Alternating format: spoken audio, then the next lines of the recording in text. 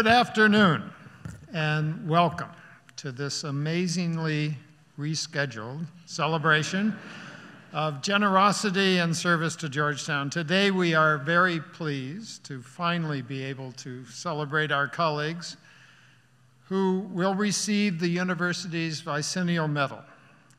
In addition, our alumni and friends who are to be inducted into the 1789 Society.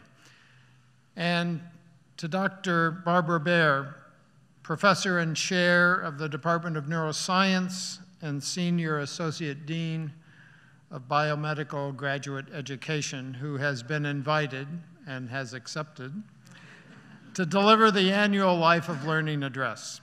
So please remain standing, if you will, just a little longer for the Veni Creator Spiritus and the opening prayer to be given by uh, Ms. Sahar Siddiqui, chaplain in residence.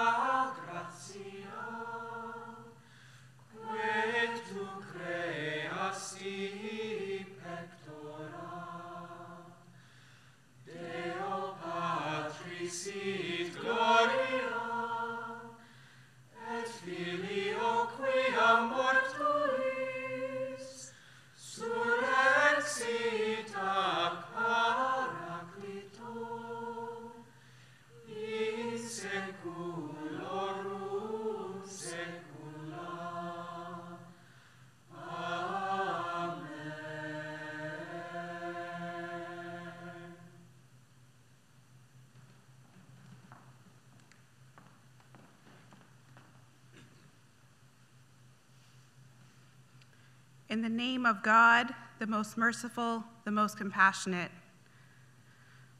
Let us take a moment to gather ourselves, take a deep breath, and bring our presence to this space and time. God, who is Al Jami, the gatherer, we thank you for gathering us today to celebrate the many accomplishments of our distinguished faculty and staff. Bless each of our relationships and allow us to always be of service to one another. God, who's uh, Amin, the knower of all, bestow your blessing upon all of our efforts to continually seek your knowledge. Allow our insights to enrich our lives and encourage us to build a community of righteousness and justice. God, who is Al Hadi, the guide, Lead us to find your presence in every step of our journey. Remove any obstacles that divert us from your path. God, who is Al Muqit, the nourisher, feed our bodies with acts of goodness, our minds with peace and patience, and our souls with unceasing remembrance of gratitude of you. Indeed, it is you, God, who is Al Rashid, the righteous teacher who is aware of all that we know and all that we do not know. You know what matters are good for us and make good for us that allows each of us to serve one another. Put your blessings upon that which is good for us and which pleases you. Amen.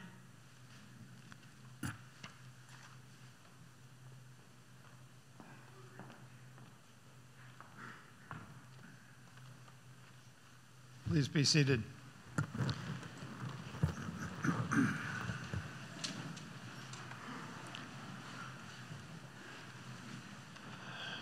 Georgetown annually recognizes dedication to the university.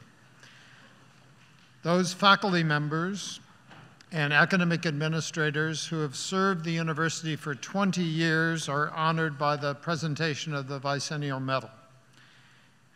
We extend a special welcome to this year's medal recipients, to their families and friends who've gathered in their honor, and to the department chairs who have joined the procession today to help us mark this achievement. We also recognize with gratitude all holders of the Bicentennial Medal, a number of whom are seated right in front of us, and are distinguished by the medals they are wearing. So check them out at the reception. Some of our retired colleagues have also joined us for this occasion. It is that important to us. Welcome back to the Hilltop, those of you who've come. For this special occasion, we've produced a film to document the contributions of these honorees to the university. After the film, Dr. Elliot Crooke, Senior Associate Dean for Faculty and Academic Affairs and Professor and Chair of the Department of Biochemistry, will present the gold medalists on behalf of Dr. Edward Healton, Healton Executive Vice President for Health Sciences and Executive Dean of the School of Medicine.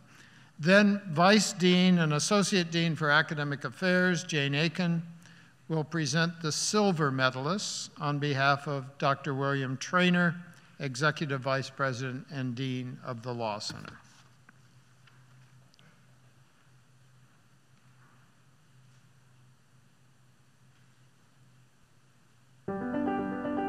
20 years. Almost half of my life has been at Georgetown now.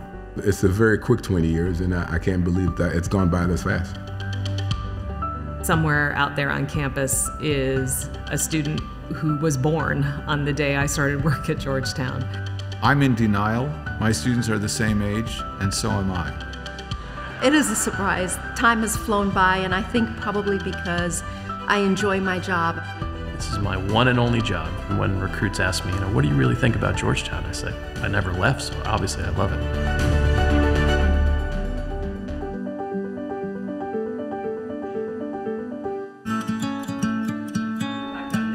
When I first started teaching, I thought that I needed to be in control of all the information. I find more and more that I don't it really is a partnership. It's always a rewarding experience to give up the control and let the students pick up the materials.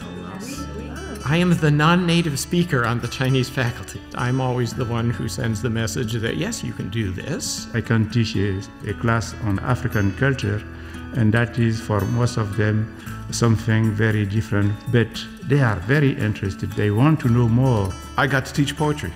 That was really the great thing. Well, I fear the blank page, so I ask them not to start with a blank page. I ask them to start with a form and urgency and some notes. I'm trying to help them learn how to think like a lawyer. It's reasoning by analogy, it's applying already established doctrines to new sets of facts and new conflicts. Nothing makes me happier than seeing students who think ethics has to be the most boring thing in the world come alive. I always say to healthcare professionals, who you choose to be any day literally has the ability to determine or influence how people are born, live, suffer, and die. I teach graduate anesthesia students. In the morning when I walk in, oftentimes they're exhausted, they haven't had the coffee yet. But once we start talking about anesthesia, they start to get really into it. Their level of engagement is what feeds my fire, if you will. The important thing for a good teacher is to have empathy. I have an implicit contract with them. I will push them really hard to learn, and they can push me really hard to help them learn.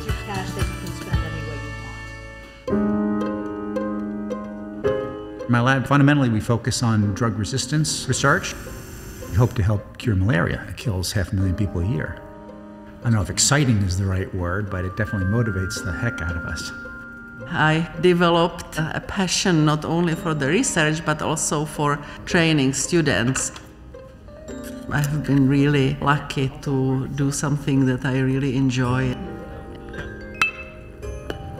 Had a boy, good adjustment. I get to teach life through a game I love, and uh, I can't think of anything better.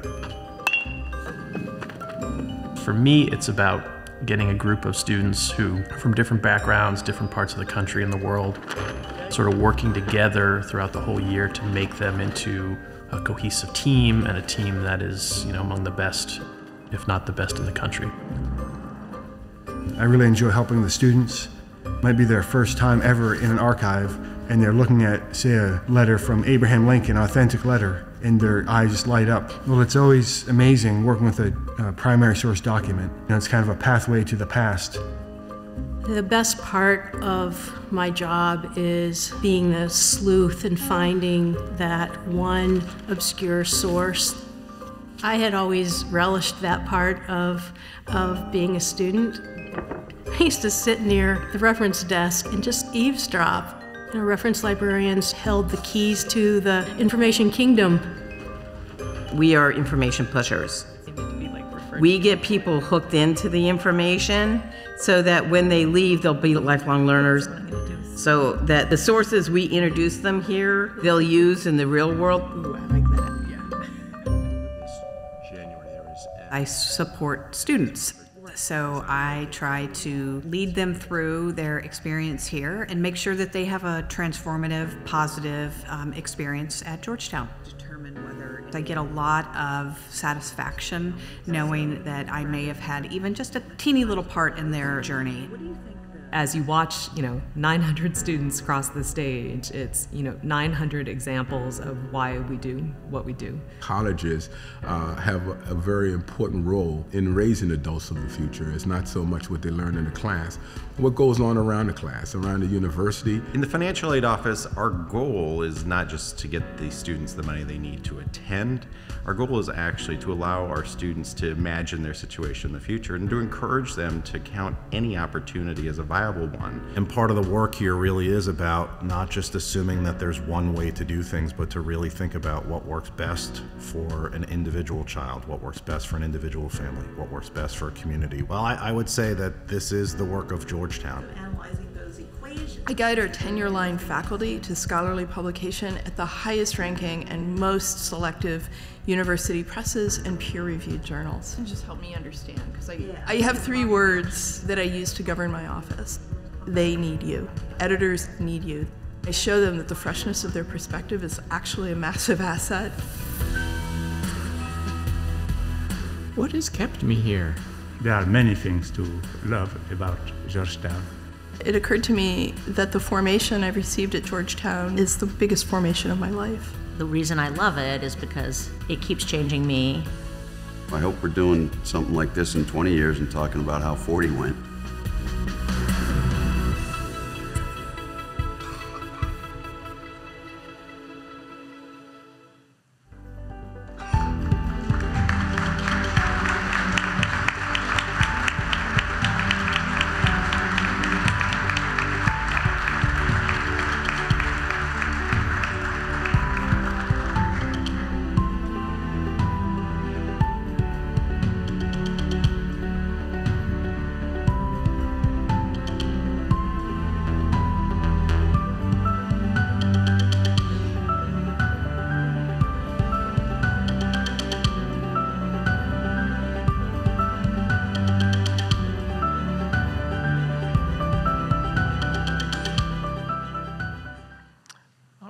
Like we're already a bit ahead of the script here. So will the gold vice medalist please rise and come forward as your name is called, and I promise I will try to do as best a job as I can in pronouncing them.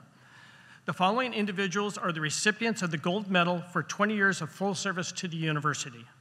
Michael Bailey,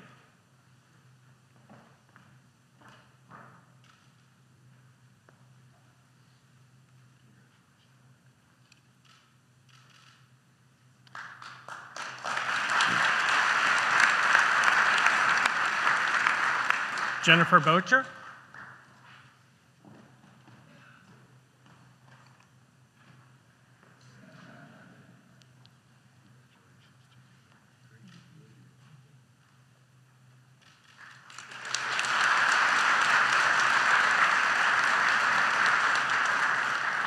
Jeanette Kachan,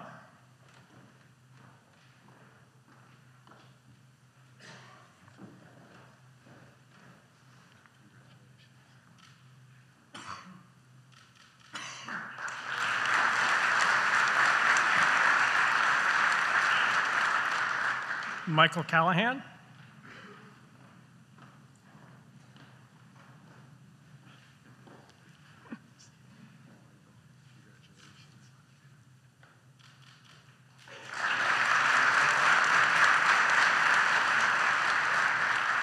Stella Cohn Scully.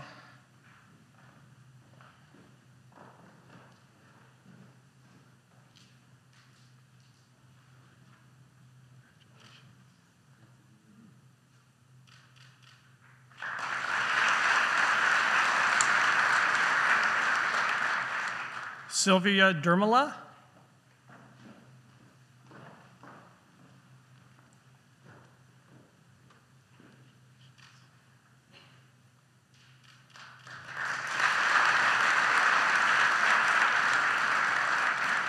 Ladan Eshkevari.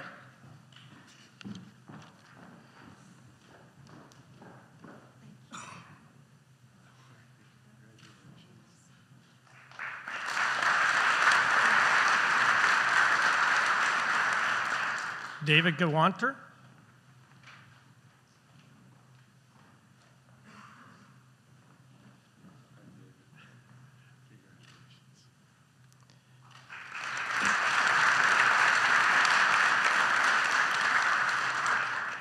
Jill Hollingsworth.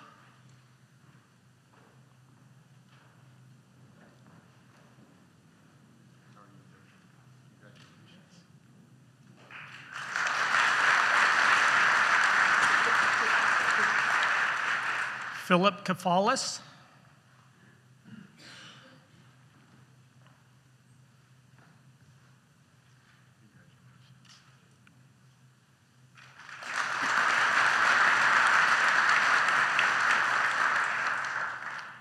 Amadou Kone.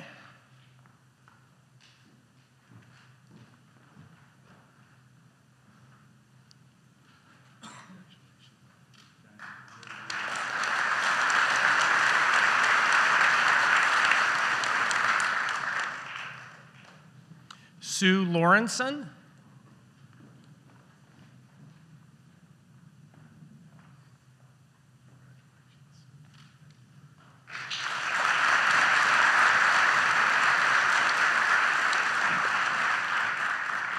Rebecca Lundgren.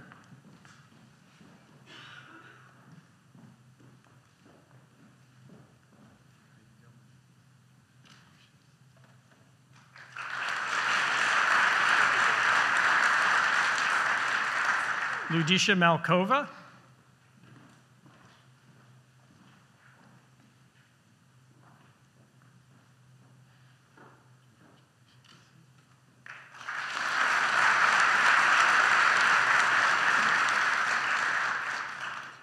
Beth Marhenka.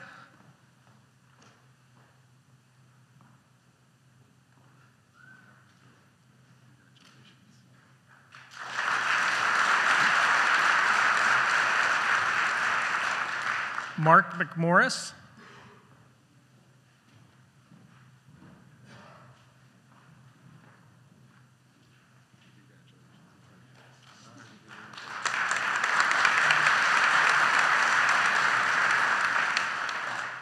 Judith Miller.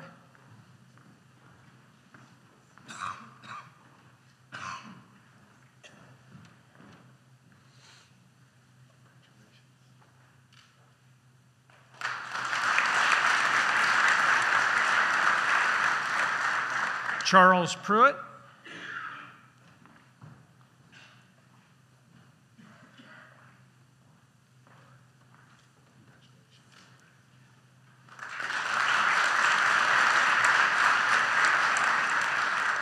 Paul Roepe.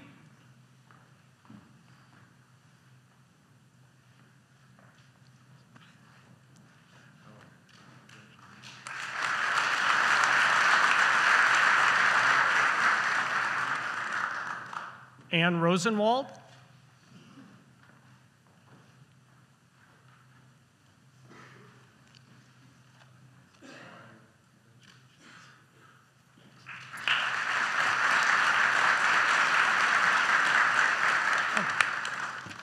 Carole Sargent.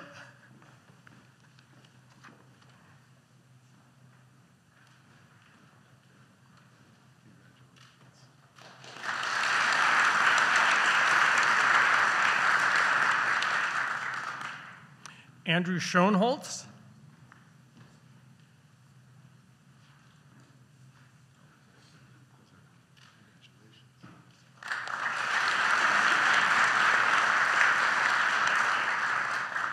Barbara Shoney.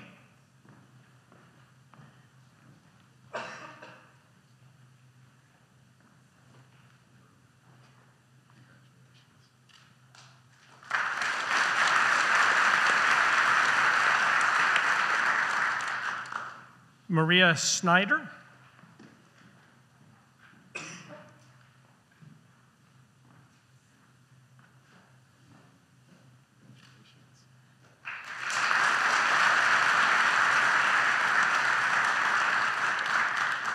Scott Taylor.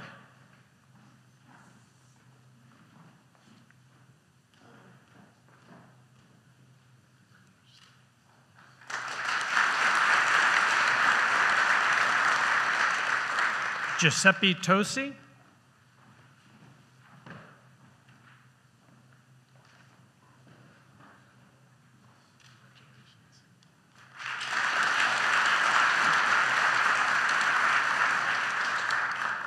Janine Turner.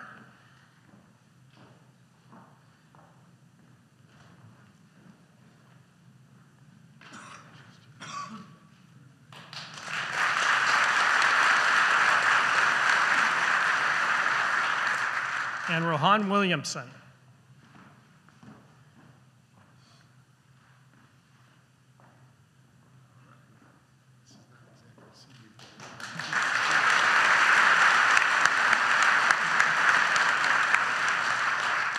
Please join me in just congratulating all the Gold Vicennials.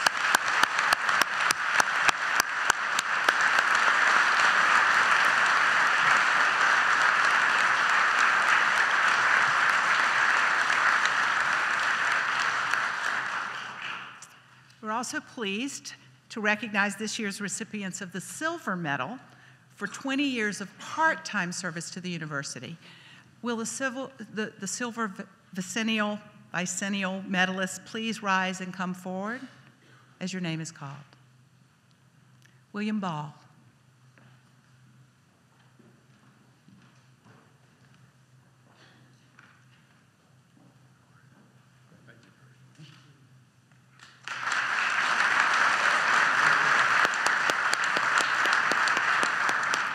Jeffrey Burnham.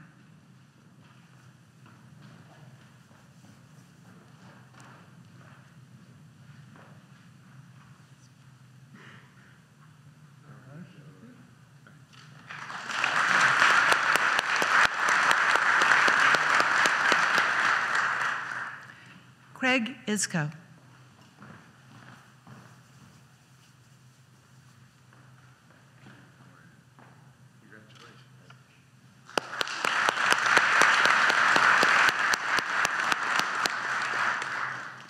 Richard Leon.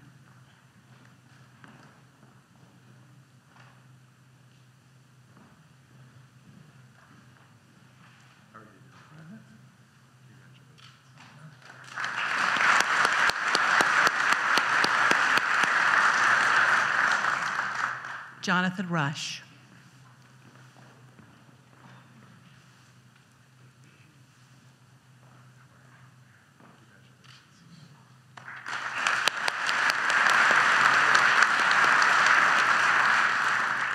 Emma Violin Sanchez.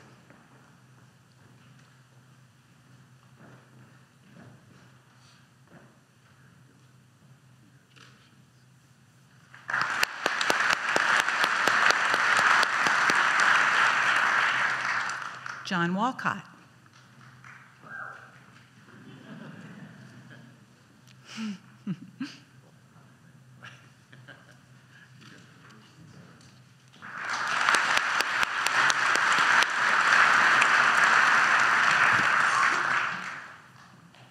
Joy Young.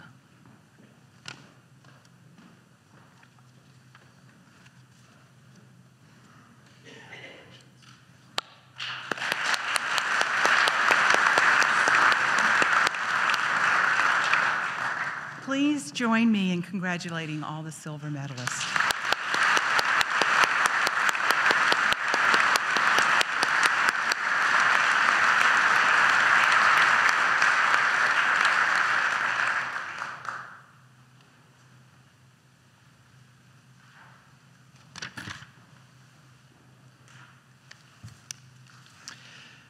The 1789 Society is Georgetown's most distinguished philanthropic fellowship. Today, we recognize those new members of the Society who've given so generously to support our academic enterprise. In a special way, I welcome the new inductees who are here with us today. Your support allows Georgetown to attract the most talented students and scholars, as well as to grant them the resources to enact positive global change. We are deeply grateful to you and to other 1789 Society members for such remarkable generosity. Thanks to your gifts, we are able to create faculty chairs, assure financial aid to deserving students, and to provide outstanding campus facilities. Your vision and your leadership provide us a beacon for Georgetown's advancement as one of the finest and the most world renowned institutions of higher learning.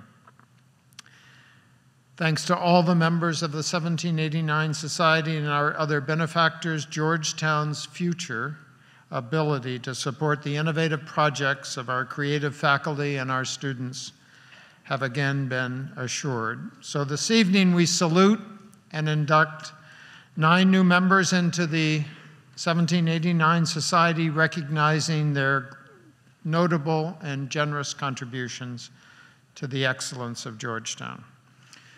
Will the 1789 inductees this, here this afternoon please rise and come forward as your name is called?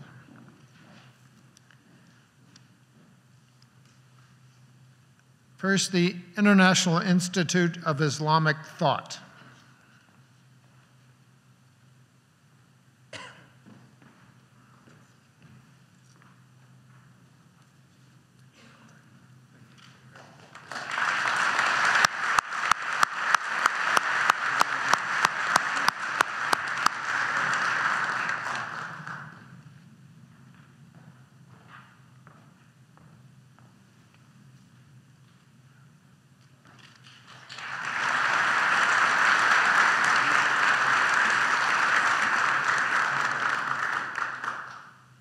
Christine E. Weber.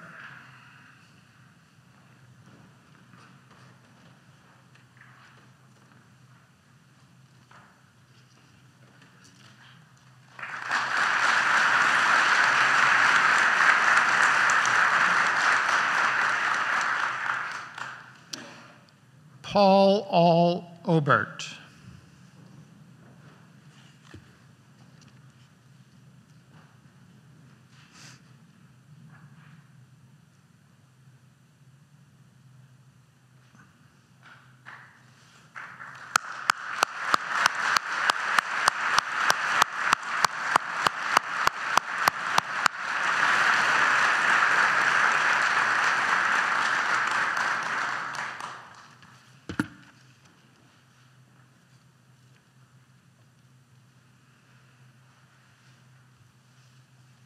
Also being inducted this year are the following members Janet Kling and Michael Kling, Janice K. Billingsley and Robert L. Billingsley, the Cloverfields Foundation, J.T. Tai and Company Foundation, Kelly and Jay Jacobs, Nancy J. and Jeffrey L. Stack, and Joan W. and Philip A. Vasta. Please join me in congratulating the new members of the 1789.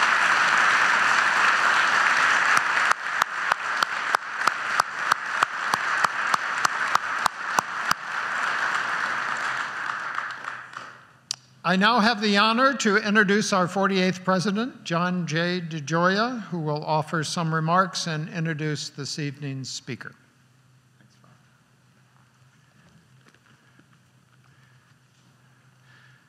Thank you very much, Bob. Good afternoon, everyone. It's a pleasure to be with all of you for this very special occasion in the life of our university community. Each semester, we convene for our faculty convocation in the fall as we honor the extraordinary contributions of our scholar teachers and the promotion and tenure of our faculty. We engage a leader from outside the Georgetown community to share their perspectives and experiences in the Academy. Today, in our spring convocation, we celebrate the longstanding contributions of our faculty and academic staff, of our most dedicated supporters, and we hear reflections from a distinguished and outstanding member of our faculty here at Georgetown. To our newly inducted Vicennial medalists and past Vicennial medal recipients, and to the members of our 1789 Society, we thank you for your extraordinary contributions to our community and for your presence here today. To Barbara, I want to th thank you for sharing your reflections with all of us in our life of learning address and for three and a half decades of extraordinary teaching and research in our community. And I look forward to introducing her to all of you in just a moment. And to all of our guests, family, and friends who join us today, I want to thank you all for being here. For decades, this ceremony has provided a moment for us to acknowledge and to explore our way of life as a community. We come together as an entire faculty to pause and reflect on our mission as members of the Academy and to honor colleagues who exemplify the very best of our community. Ours is a community grounded in a nearly 500 year old tradition of learning an enduring commitment to knowledge and the disinterested pursuit of truth, to the formation of young people, and to, the, and to the belief that there is a good that we can achieve together that we could never hope to achieve alone.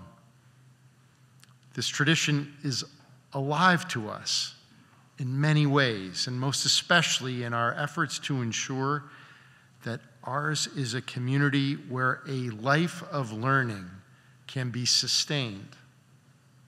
Each year, we welcome new members into this community.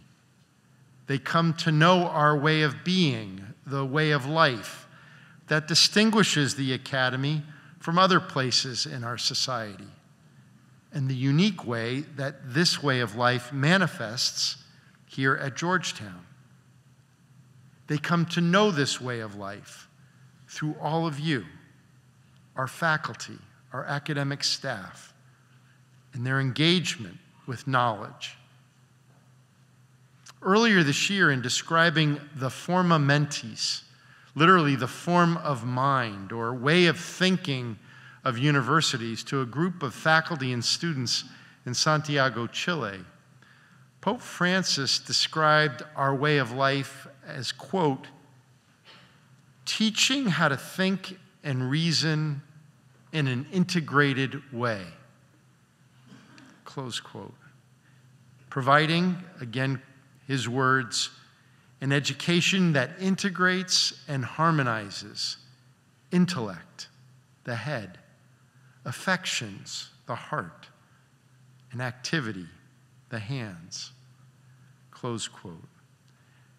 And he went on to say whenever a professor, by virtue of wisdom, becomes a teacher, one is then capable of awakening wonderment in our students, wonderment at the world and at our entire universe waiting to be discovered.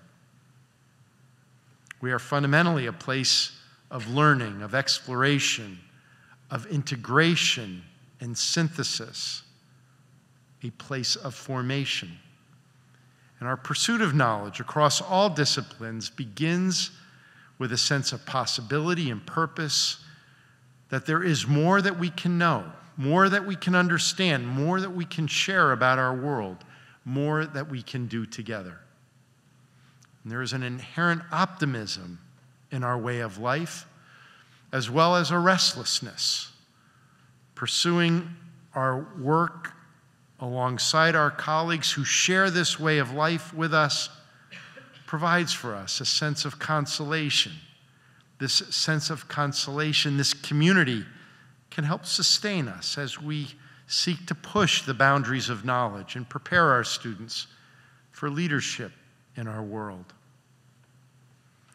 So, as we reflect on this way of life that we share, we have the extraordinary privilege of hearing from a member of our community and her life of learning here at Georgetown. A graduate of Ohio State University with a doctorate in pharmacology, Barbara's career has been dedicated to understanding the ways in which the mechanisms in our brain communicate with our immune system. In 1983, she joined our community in the Department of Pharmacology, having recently served as a special assistant for science to the Commissioner of the Food and Drug Administration. Her work during these years included studying HIV through an effort at the National Institute on Drug Abuse in 1992 and studying drugs of abuse, including opioids, and the impact of certain types of stress on the immune system. After about a decade in our Department of Pharmacology, she moved to the Department of Neuroscience and served as vice chair of the department before becoming its chair in 2005, a role she continues to have today. From her research on drugs of abuse to her service on national advisory boards and groups, including as a, mem- as a member of the Presidential Transition Team for the Department of Health and Human Services in 1988 and 89, she remains at the forefront of teaching and scholarship on the immune system. Today, her work seeks to advance our understanding of the diseases of the central nervous system and approaches for early detection and evaluating various therapies. Barbara's also played a significant role in shaping our commitments to our graduate students, providing exemplary mentorship and guidance to our graduate students pursuing advanced degrees in pharmacology and neurosciences. In 2011, she was appointed Senior Associate Dean for Biomedical Graduate Education, and in this role, she has created important professional development, training, and partnerships to support the formation of our students. In recognition of her many contributions, in 2011, she was inducted into the Magis Society of Master Teachers, and in 2013, she was recognized with our Biotechnology and Biochemistry Programs Leadership Award. Throughout her extraordinary career, whether engaging with students, sharing her expertise with colleagues, or serving as a PI on a long term training grant, she has advanced our understanding of the immune system's relationship to the brain in important ways and providing critical training to future generations of researchers. We're very proud to have had Barbara's contribution to the study of medicine and her leadership in our community over the course of these 35 years. It's now my honor to invite to the podium Dr. Barbara Bayer to deliver this year's Life of Learning address.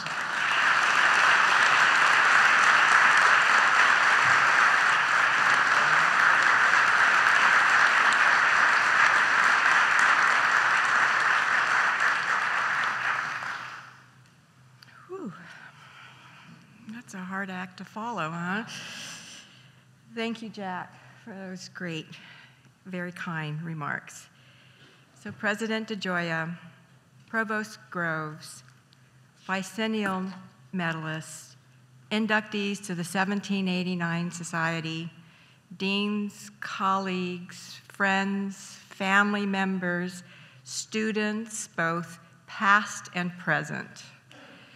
It's such an honor to be here, invited to give the Spring Faculty Convocation Life of Learning address.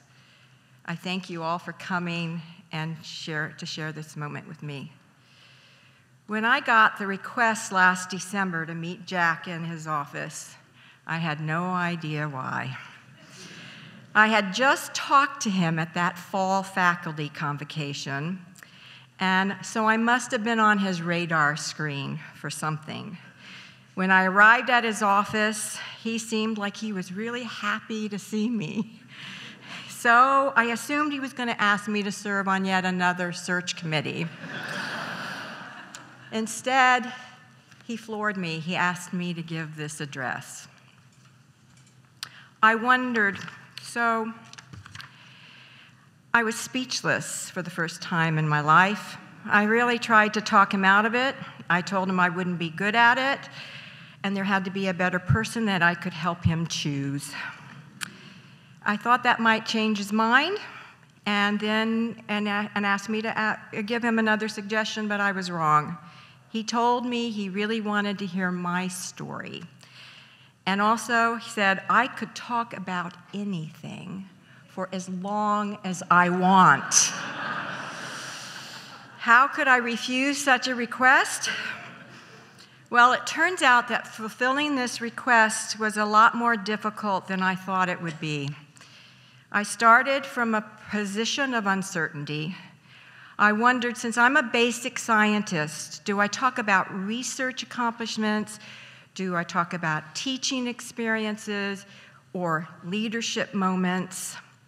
The more I thought, the harder it was to describe this real essence of my life in a life of learning perspective that this address is all about. Then I actually did something that made the challenge even worse. I read past convocation speeches of several other Georgetown faculty. This was predictably a humbling experience. They described achievements that made my head spin, achievements that transformed our community and our world, things that made my life feel even smaller. The first thing I did to get back tra- on track, which is what a scientist would do, is get data. I began logically to outline the chronology of my entire life and to see if there were theme, themes that would become apparent to me. The more difficult that it seems, and when you're as old as I am, it can take quite a while to do. It ended predictably with nothing but a list of events I'd experienced and people that I had met along the way. I let the list sit a while, and I gave my time for the gave myself for the first time a time of reflection. Finally, I realized something really important. My life of learning story is mostly about the people who helped me and influenced my decisions and accomplishments along the way. That's a pretty big crowd of people. It included parents, children, colleagues, mentors, staff, friends, chairs, and even presidents. The decisions and accomplishments I listed were the kinds of things that look great on a CV and the stories that we tell when we look back on our lives. But in both cases, I realized there was an emerging common theme one that I had followed from my earliest days. I realized that the most sustainable path to excellent accomplishments and accommodations is paved by adhering to one certain principle show up and do your job. it was a cool moment for me a moment of discovery and affirmation that reminded me of the values that have been instilled in me by my family and my mentors. It was also a moment of sheer relief because, as humbled as I was by the accomplishments of the colleagues that gave this talk before me, I realized it was the one thing we had in common. One value we all shared, regardless of the difference in abilities, knowledge, or perspectives, that work ethic was something we shared across the board. We all show up and we do our jobs. So, for the next few moments, I'm going to talk about what it meant to me to show up and do my job. I'm also going to talk about some amazing things that have happened because of it and make a few confessions along the way. So, in the words of Mark Twain, he best summarized the early days of my journey of, of learning. He said, College is a place where a professor's lecture notes go straight to the student's lecture notes without passing through the brains of either. this is probably true, and although we as educators may not want to admit it, learning is a lot of what you do outside of the classroom. This was certainly the case with me. I was an Army brat, first generation college graduate product of a Texan father and a German mom who celebrated their 70th wedding anniversary last year. and they're still there. Thank you. My family rarely stayed in more, more than one, two, uh, my family rarely stayed more than two years in one place. I started grade school in Japan, then France, and then finished it in El Paso, Texas. High school years began in Washington State, continued in Florida during the Cuban Missile Crisis, then back to Texas when my dad was in Korea, and when he returned, we were off to Germany. Throughout the experience, I had some good teachers, some not so good teachers, and some that were in between. But one principle reigned true. It was my responsibility to show up, do what was asked of me, to listen, and to learn. I guess you could say it was the kids' adage version of show up and do your job. In my case, that determination made up for a pretty average abilities. I'm smart, but certainly no genius. But by the time I graduated from Würzburg High School in Germany, I had been inducted into the Honor Society, was senior editor of the Annual, became a cheerleader, and was elected the homecoming queen. Thank you. I was also, so I'm not finished yet. I was also the top women's singles player on the tennis team.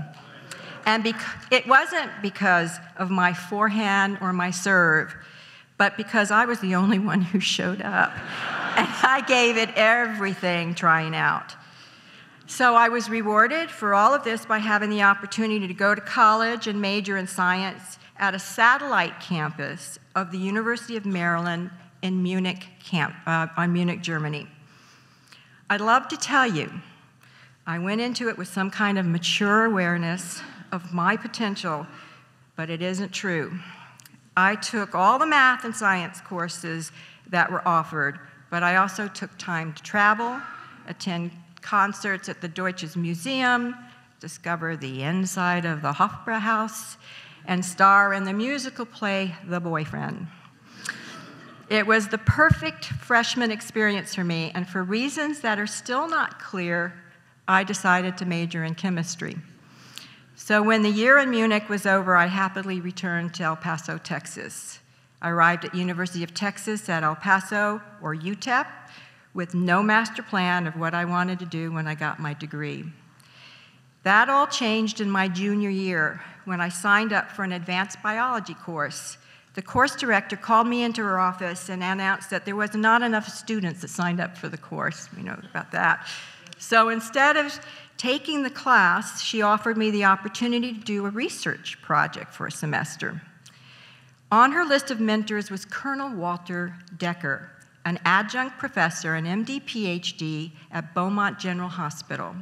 His PhD was in pharmacology with an emphasis in toxicology. Dr. Decker was my first real mentor.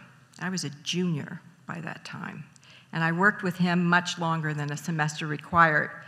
This single experiment, experience, initiated by a chance occurrence, gave me the direction I needed and translated my interest in science to a passion for research. Of course, while I was in college, I continued to do the same thing that I always did. I showed up and did my work. The difference now was I was a lot more excited about the rewards of doing so.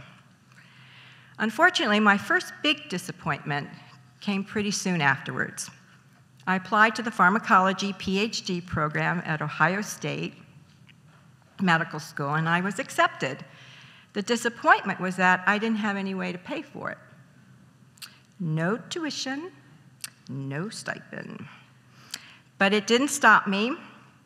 I wasn't going to let it keep me from achieving my goals or showing up and doing my job. It was really tough at first, thanks to both the financial stress of out of state tuition and the feeling that I was some kind of second class student. Fortunately, before my first year was completed, I joined the laboratory of Dr. Daniel Corey, a professor of pharmacology who was also in charge of the Ohio State Toxicology Lab. Revenues generated from the Tox Lab were used to fund his students' stipends and their research, but you were expected to work for it. Once you were doing thesis research, your work hours were reduced to serving on an on call basis for emergencies over the weekends. Many a night, I'd be sleeping on an air mattress in the tox lab while samples were being extracted. I also remember the time when I had to drive to Children's Hospital at 2 a.m. to pick up samples to be analyzed from a child who had ingested an unknown poisoning. I was navigating the deserted downtown streets of Columbus when a spark plug came loose and started banging against my car hood. I thought my engine was going to explode. Instead of panicking when I pulled over, I recognized the problem and I fixed it. I didn't even know what a spark plug was at the time, okay? It was an empowering moment for me and it's a story my graduate students often heard when they started to complain about things. A very effective tool to put things into perspective and to remind them acknowledge the obstacles in your path, but find a way to get past them. And then show up and do your work. So, these experiences at Ohio State and Dan Corey's mentorship were transformational for me for different reasons. He encouraged all of his students to be independent and was completely open to new ideas. Translated, this meant we got to choose what we wanted to study. Unlike today's students, including my own, who were often given a specific aim on one of the mentor's grants to work on. Left to my own dev- devices, I became interested in the biochemical triggers that initiated cell division. The model I chose to study was liver proliferation response following a partial hepatectomy.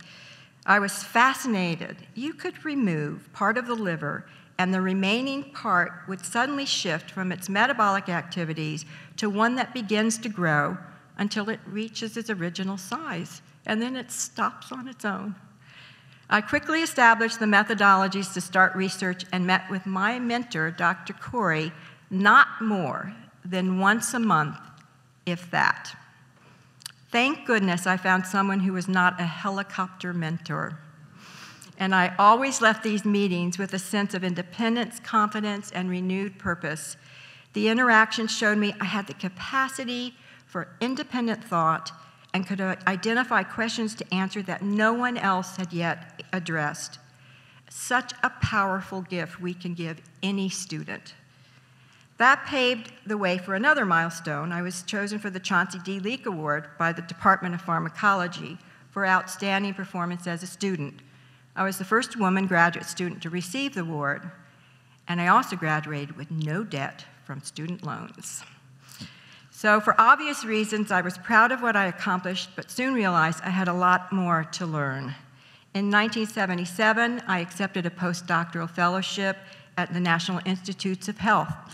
My mentor was Dr. Michael Bevan. He was a very disciplined researcher. So I think that first year must have been very difficult for him. He was trying to rein in this wildly independent child, meaning me. But Dr. Bevan knew the importance of steadily publishing your research findings, and pretty soon I realized that that wasn't going to necessarily stifle my creativity, right? So looking back, I realized how fortunate I was to have two such different mentors in my formative years as a scientist. I hope my own students eventually benefited from the lessons I learned. This was also a critical juncture for me, the point when I realized that I really wanted to return to academia. I contacted Georgetown and received a polite letter from Dr. Frank Standaert, Chair of Pharmacology. No positions were currently available. So my search finally yielded a faculty offer from George Washington University as an assistant professor, but on the research track. I admit I was disappointed but I decided to accept so I could apply for an NIH New Investigator Award, which would cover my salary and research expenses for a five year period. In my last few months at NIH, I got an unexpected phone call to be interviewed for the HH position in the new Reagan administration, and I was asked to meet with a Dr. Arthur Hull Hayes, the newly appointed FDA commissioner, who was looking for a special assistant for science. He seemed thrilled to meet someone who was fresh off the bench with no political background or agenda. He also didn't hesitate for a moment to offer me the job, even when I told him I was pregnant with my first child. So it seemed like this would be an interesting interlude for me until I heard about my new investigator award. What helped to seal the deal, though, was the gift of a baby bottle of red, white, and blue jelly beans that I received from Dr. Hayes. He thought that was cute, being in the Reagan administration. you might not be old enough to remember that. So, in the early 1980s was an exciting and busy time at FDA. President Reagan was beginning the first term in his office, and there was a lot of pressure on agencies to deregulate and reduce spending. It was also, uh, I was also at FDA during the first years of the AIDS epidemic in the US, and I remembered attending one of the first briefings that the Center for Disease Control gave describing the outbreak of the opportunistic infection in the gay population. These early memories of the course of events and those that followed in the HIV epidemic were permanently imprinted in my memory. When I eventually arrived at Georgetown, they drove me to increase course offerings on the topic to the medical students and to ultimately change the direction of my research. This was also the point when I, began my, uh, when I began my life as a mom. I gave birth to my first son, Alexander Moore Bayer the day after Thanksgiving. It was one of the happiest days of my life, and I was consumed by this life that we had created. The, that coincided with another wonderful event. Dr. Robert Goldstein, the chief of allergy and clinical branch of the National Institutes of Allergy and Infectious Diseases, and Dr. Frank Standaert at Georgetown each pulled their own punches to pave the way for my position at Georgetown. It was Dr. Goldstein who called me with the news that that new investigator award had gotten funded. And he said and recommended on a phone call that I was free to transfer the grant to another institution. I had no idea. I had a score on a pink sheet at the time. I had no idea that it was even funded. So I often think back to that call and the interest Dr. Goldstein showed me, some, somebody he, he had never met. Um, without his intervention, I probably wouldn't be here. That said, having a new investigator award in hand and meeting Dr. Frank Standaert at an FDA task force probably didn't hurt me. Okay. So I guess that means showing up and doing the work doesn't mean you shouldn't have a contingency plan. So I came to Georgetown in 1983 and quickly realized that I needed some help in the lab, particularly as teaching duties increased, and I had to do something and decided to ask for more support. There might be some people here that still remember Frank Standaert, who was this larger than life figure really big guy with this John Wayne type of swagger and presence. He was very intimidating. And needless to say, I was very uncomfortable going in and asking him for additional support, but I had carefully calculated I could afford half of a technician, and I'm going to go in there and ask him to pay for the other half. I asked him, he looked up from his desk, and he said, Sure. I quickly left before he could change his mind, but just as quickly turned back and asked him, I couldn't stand it. What would you have done if I asked you for the whole salary? And he simply said, I would have said yes, but you didn't. he let his first answer stand and taught me a very valuable lesson. Always ask for what you need to succeed. So the next few years were busy with research, graduate students in the lab, coupled with increasing teaching responsibilities in both the medical and the dental schools. And then I that was when I started exploring the effects of stress on the immune system and the impact of opioids on lymphocyte activity, and in doing so became one of the earlier researchers who saw the link between IV drug use and the risk of HIV infection. Thanks to the hard work of my early graduate students, John Jessup and Lauren Flores, my longtime friend and superhuman technician, Monica Hernandez, and the generous mentoring of Dr. Karen Gale, the other woman faculty member in the pharmacology department, that in 1987 I obtained my first R01 grant. These studies continued to receive uninterrupted NIH funding for the next 26 years.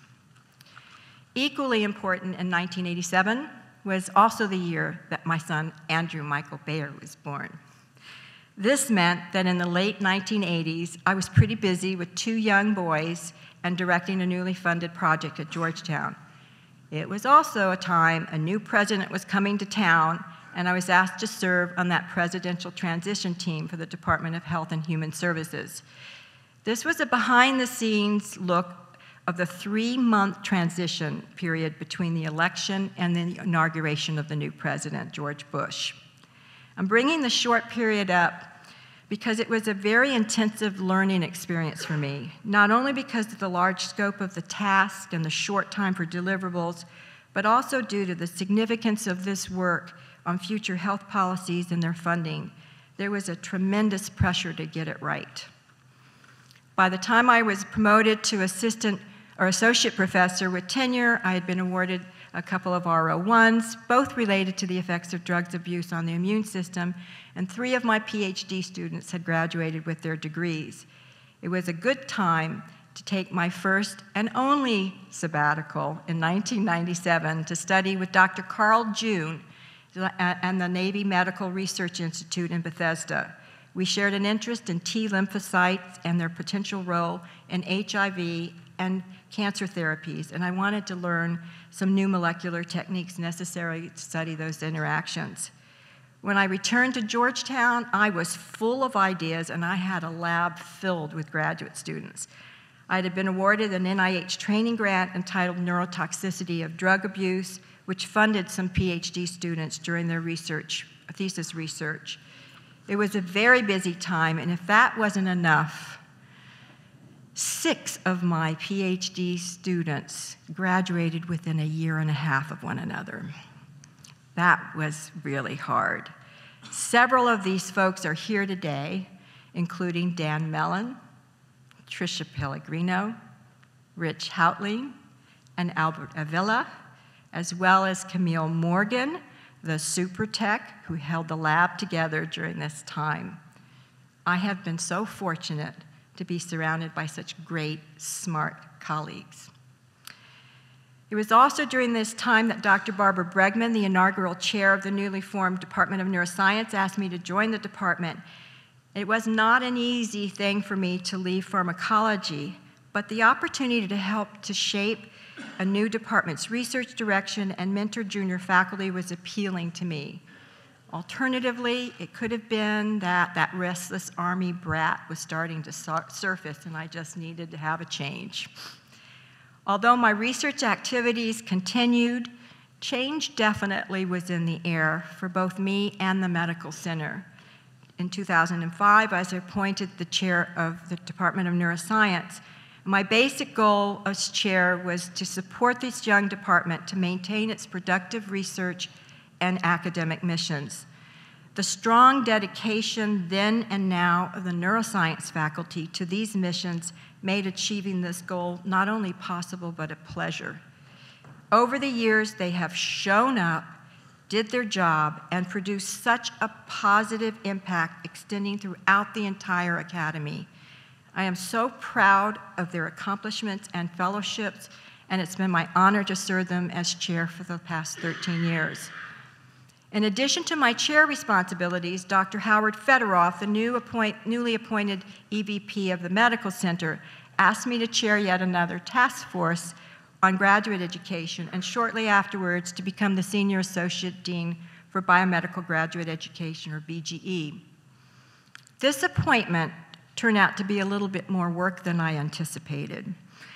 I was showing up for work, but quickly realized there needed to be some restructuring of the personnel and a change of the culture of the BGE office to get the job done. During this time, several key people suddenly left. I had a skeleton crew and I was in a panic.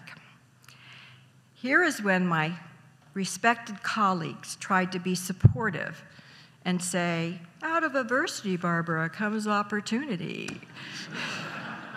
Those that initiate change will have better opportunity to manage change, and then they went off their way.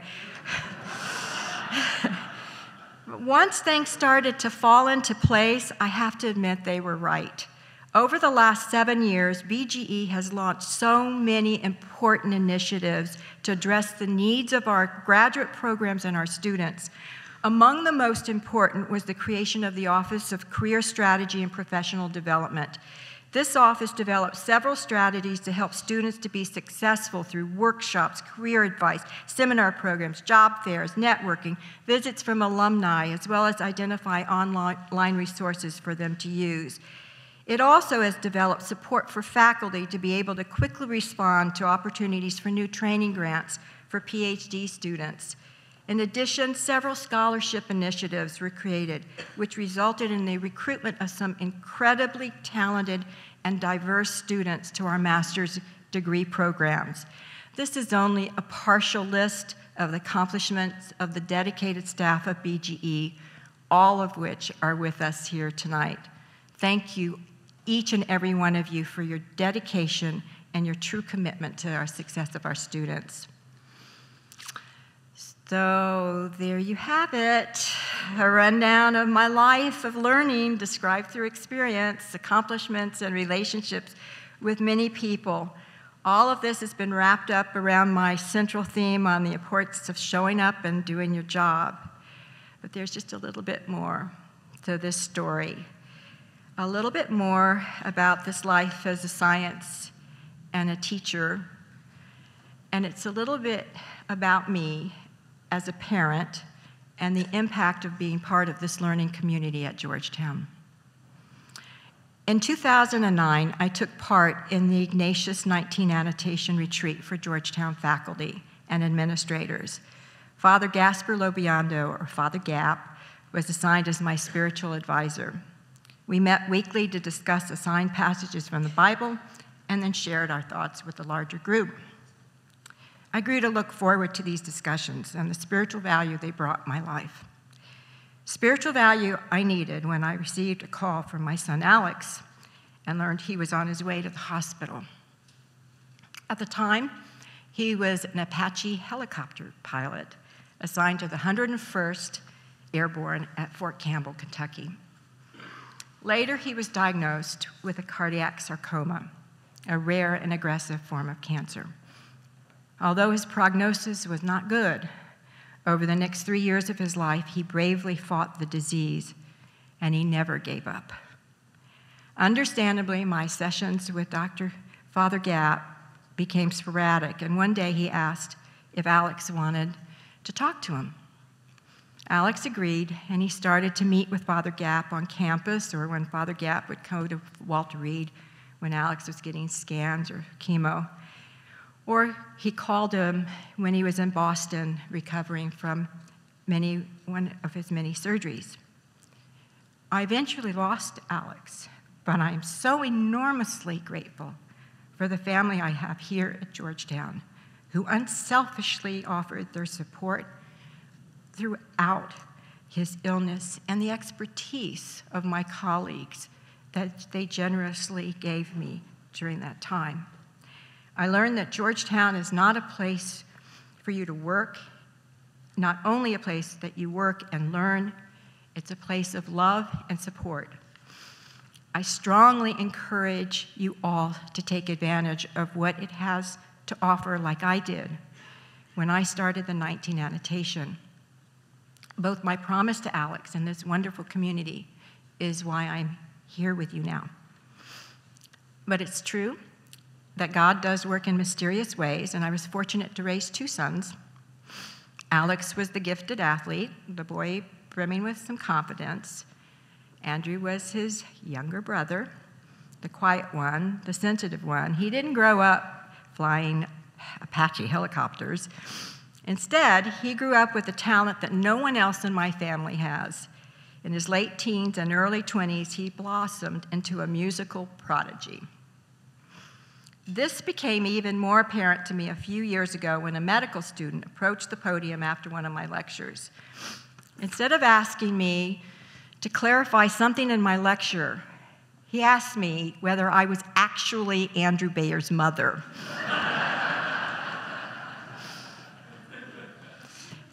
Andrew, you are the love of my life. I am so very, very proud of you. I thank you for just being you. So I'm going to close with a tribute to one, one more, promisely, just one more special person. The guest Jack invited to speak last November at our fall faculty convocation, Dr. Diana Natalicio, president of my undergraduate, UTEP. I graduated the year she arrived I graduated a year after she arrived at UTEP as an assistant professor of linguistics. She became the first female president of UTEP 16 years later and had a lot of work to do. Since then, she has grown a school which had only one PhD program when I was there to one that now has 22 PhD programs with a research portfolio comparable in size to Georgetown. Pretty good. In 2016, Time listed her among the top 100 most influential people around the world. Around the world. When I got a chance to talk with her, she said her goal from the beginning was to do everything she could to make higher education accessible and affordable to students. Although it's clear I am no Diana, I did learn we had several things in common. We both qualify as being mature women who have been at their universities for over 30 years. We both are first generation college graduates. We both experienced unexpected chance occurrences in our lives which greatly influenced the paths we chose. We both had key mentors who helped us along the way and we both have been fortunate to be in a community of learning with Jesuit values, which have fostered spiritual contemplation, a high level of scholarship, and reinforced the desire to help others through education. Remember when I told you at first, when I went back and read all those speeches of past Georgetown faculty, these traits were also mentioned in many of their speeches.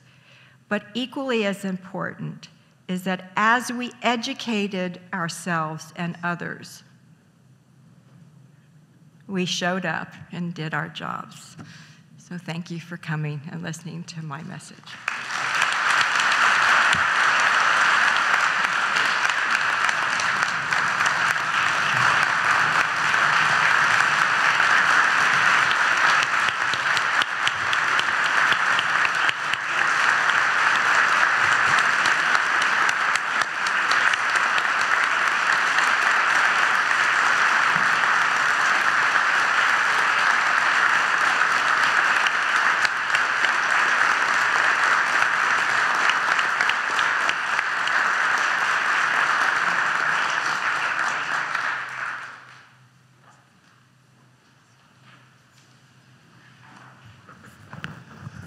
Thank you, Barbara. I, I, I know I speak for everyone that we're overjoyed that you showed up here.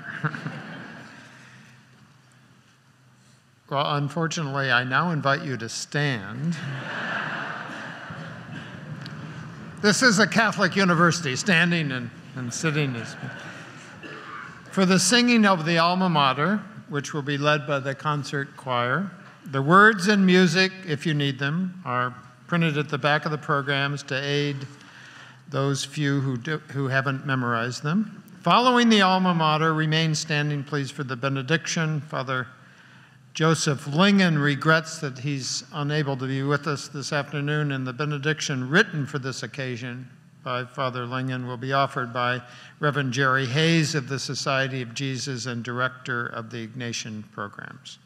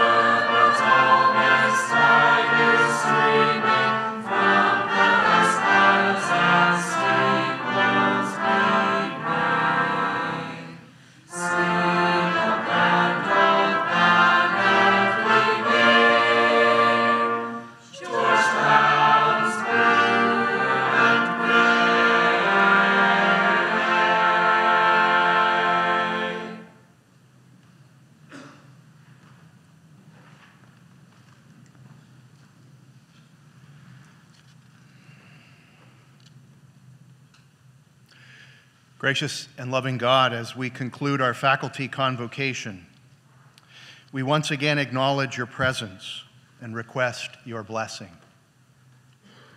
Today we gathered together with a purpose to listen, learn, and celebrate a life of learning, to recognize and commend those who have offered 20 years of dedicated service to Georgetown University. In addition, we gathered to, have, to honor and express appreciation for those who have demonstrated tremendous generosity and support of Georgetown, her tradition, her mission, through their induction into Georgetown's 1789 Society. In our gathering and our honoring and our celebrating the work and generosity of these women and men, we humbly acknowledge your presence and generosity as well. We ask for your continued guidance and blessing upon our university and all her endeavors. Guide us with your grace and bless us with your wisdom. May your Spirit continue to inform and empower all our efforts, and may what we do reflect our honest desire to serve you, to form women and men of conscience and honorable character. We offer this prayer to you, our God of truth, wisdom, compassion, and mercy. Amen.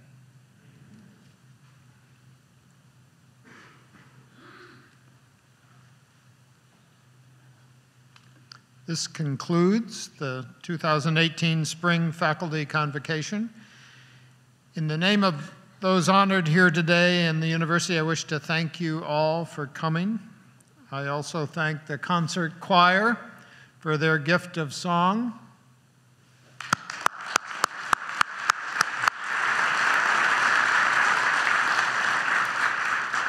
And to Dr. Candy Bartoldus for conducting the choir today on behalf of Professor Binkholder, who was unable to be with us.